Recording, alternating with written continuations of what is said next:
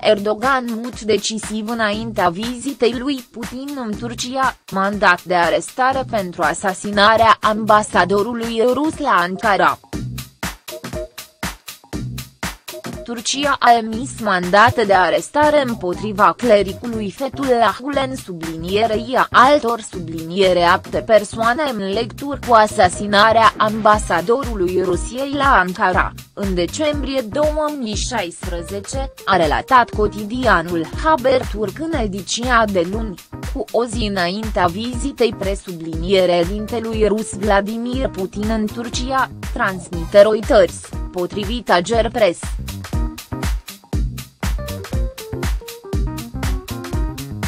Ambasadorul rus Andrei Karlov a fost în subliniere cat mortal de un polițist care se afla în afara serviciului, cu prilejul deschiderii unei expoziții la Ankara, în decembrie 2016.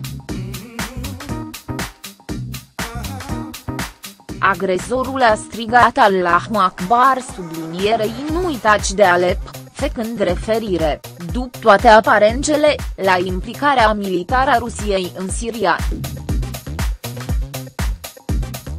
El a fost în subliniere cat mortal de forțele de poliție la locul incidentului presubliniere dintele turc Recep Tayyip Erdogan a susținut ce în spatele asasinatului se află mi subliniere care a lui Gulen, acuzație respins de acesta. Potrivit Haberturk, cei opt împotriva cerora au fost emise mandate de arestare sunt acuzați ce au ordonat asasinarea ambasadorului Karlov. Fethullah Gulen, autoexilat în SUA, mai este acuzat de regimul de la Ankara de orchestrarea puciului subliniere Watt din iulie 2016. Potrivit cotidianului Hurriet, alte subliniere apte persoane, printre care trei polici subliniere T, au fost arestate până acum în lecturi cu asasinarea diplomatului rus.